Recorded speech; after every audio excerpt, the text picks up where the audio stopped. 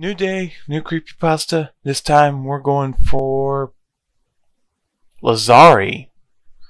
Now, as I mentioned before with the Sally Williams intro, is if it's a creepypasta character that's a small child, I will have a little bit of a heartbreak. Lazari is no Lazari is slightly different, even though she is technically around the around the time her original story takes place. She's about eight years old. But unlike Sally Williams, she was not killed to become a creepypasta character. She was born into the creepypasta name. Because if y'all remember from the Zalgo backstory video back on the 11th, I did mention I did say that Zalgo is Lazari's biological father. So that's where that comes into play. Uh, let's just get into her full backstory all together, shall we?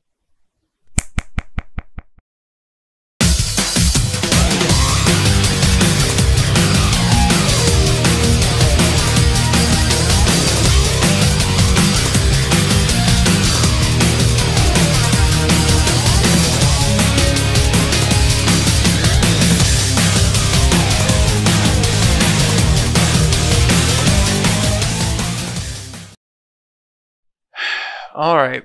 I believe it's time we get into the backstory of Lazari.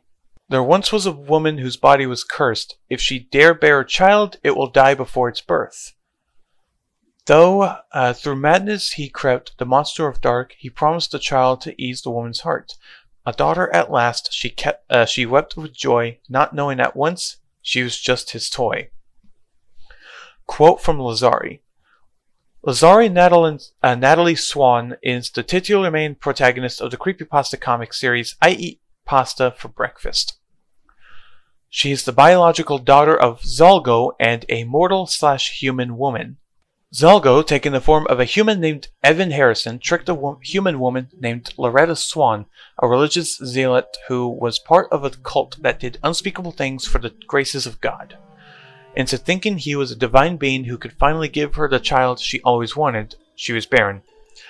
They conceived, with Zalgo abandoning Loretta shortly thereafter, and Loretta gave birth to a completely normal baby, a normal baby girl named Lazari. Lazari exhibited no demonic traits at all until she was four years old where she involuntarily went into her demon form and killed and ate a demonically possessed neighbor. This is when she gained red eyes, jagged teeth, and lost the ability to see any other colors besides red. Lazari's mother then chained her up to the basement walls, completely isolated her from the outside world, and beat and tortured her on a constant basis in order to purge the demon. This continued for four more years until Loretta finally had enough, took her daughter out into the woods with her and hung herself right in front of Lazari. After that, you can learn more about her adventures in I Eat Pasta for Breakfast creepypasta comic. Uh, that might be for a different time, unfortunately. At the beginning of I Eat Pasta for Breakfast, she wears a long reddish-orange dress. Her long brown hair is left usually loose with her hair being tied with a bow at the end. Her appearance changes in the comic when she turns 12 years old and her new reference in her new reference sheet. She's seen with pink hair usually tied in a bun or ponytail, her outfit being usually just casual clothes like a shirt and a skirt. A mouth appears on her collar. She also is seen with many new forms like her hungry form and her Zalgoid form showing off her demonic side.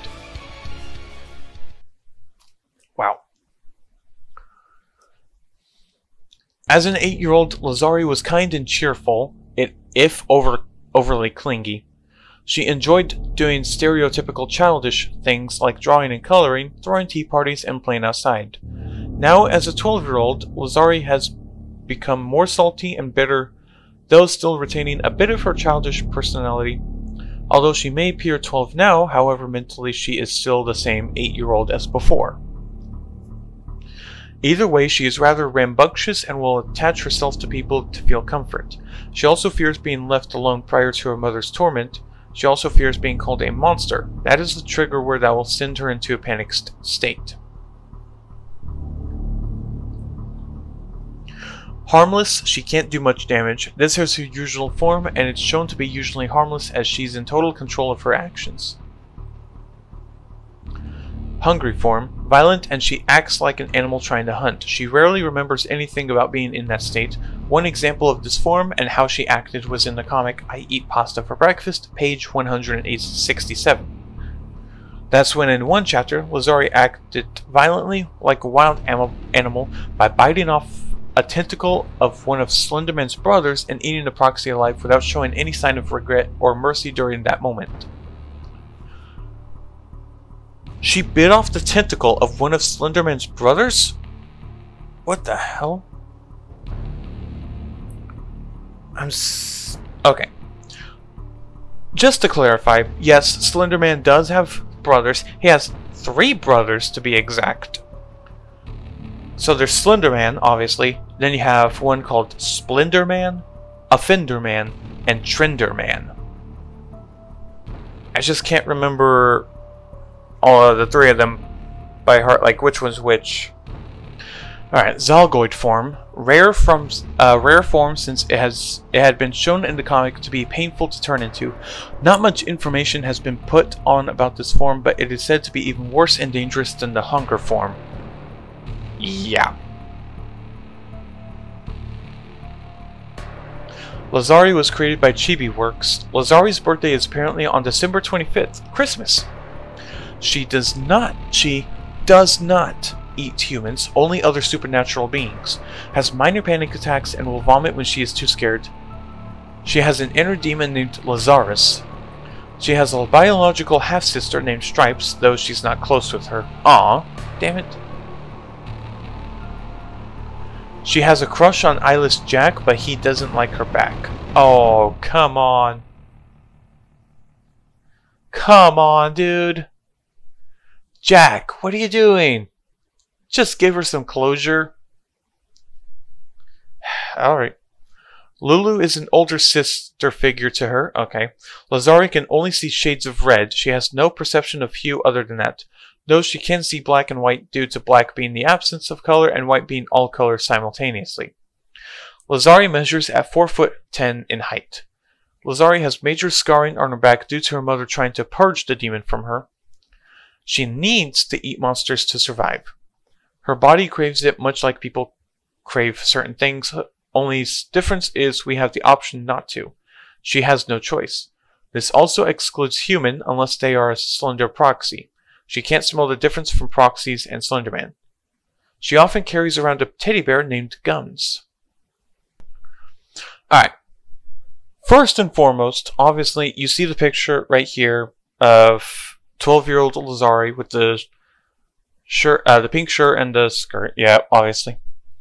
But we have fan art. Uh, obviously, gotta go to the fan art. And then first thing that pops up is the freaking picture of her different forms. And you can see that very well. You have the human form right here, and it's got a picture right here of the three scars on her back that uh, Loretta left when she was trying to purge the demon out of uh, Lazari. Here's her hunger form, or yeah, the hungry form, and then her Zalgoid form when the mouth. oh, the mouth shows up on her collar uh, during the hungry form, and it's fully revealed in the Zalgoid form, along with other mouths on her appendages. Because you, if you look closely enough, you can see shades of red on her legs. Because there's a mouth there, there, and there. So one, two, three, four. I see five mouths. That definitely confirm if that doesn't confirm that she is Zalgo's biological daughter, I don't know what would. Uh, there was there was one picture, or my bad, there was one thing about appearance.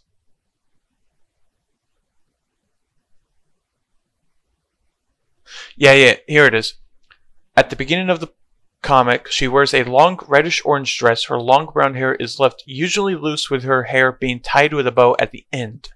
That would be this picture right here. as it's completely loose, and then you got the bow at the bottom right here. And then there's her little teddy bear gums. Oh my god. Okay, so I know it said that she has a crush on Eyeless Jack, but he does not like her back like that. This picture right here, I gotta say, that's a bit wholesome. That is a bit wholesome. Guys, listen up, okay? I know throughout the entire month I've been telling y'all to subscribe and hit the bell so y'all don't miss a creepypasta video. This time, it's no different because I'm saying the exact same thing as usual, but the difference is that, gotta remember, since tomorrow is gonna be the 31st, tomorrow's the last creepypasta video. So if you do not want to miss that final creepypasta video of the month, make sure to subscribe, hit the bell, so you'll be notified when the video comes out tomorrow. And it's hard, and I hate to say it, but it's kind of hard to believe that we're already at the end. But I guess at some point all good things come to an end. Other than that, I'll see y'all tomorrow. Peace.